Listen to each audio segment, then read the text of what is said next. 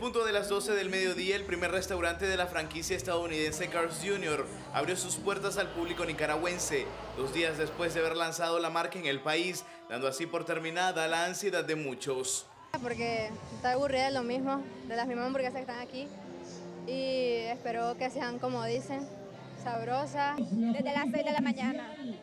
¿Qué te parece la oportunidad de los nicaragüenses contar con esta nueva idea? Buenísima, que tengamos una buena opción, una nueva opción y sobre todo al alcance del bolsillo de todos, porque los precios no están elevados. Las primeras 50 personas recibieron una hamburguesa gratis, más una tarjeta de descuento del 20% para su próxima compra. Es bueno que estén metiendo más línea en, en, este estilo de hamburguesa y pues mi expectativa es que sea muy rica, como, como dicen. Me motiva la curiosidad porque la verdad es de que no entiendo por qué hay tanta conmoción. Entonces quería venir a ver qué onda. Tenemos un, una calidad inigualable. ¿Por qué? Porque el producto es fresco. Usted pide, inmediatamente se elabora, se pone la carne en la brasa al momento de ordenar.